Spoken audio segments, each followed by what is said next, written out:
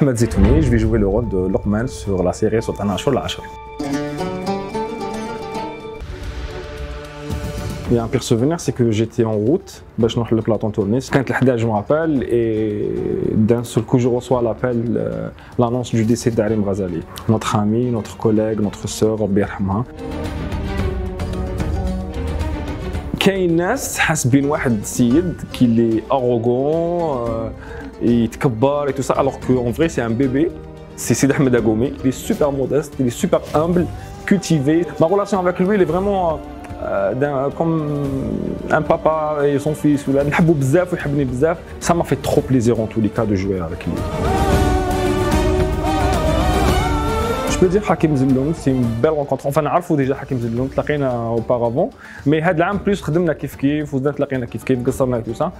Et aussi Hadj, Hadj c'est une très bonne rencontre aussi, c'est la première fois نخدم معاه.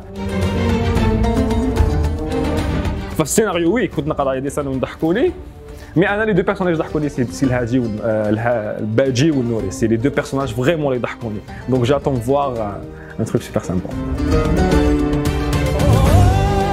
c'était un peu difficile par rapport à la météo, par rapport euh, surtout, surtout le bruit, parce que là, on est, là on c'est vraiment à côté de la ville. Donc, les automobiles, les motos, les avions, tout ça, et du zoo.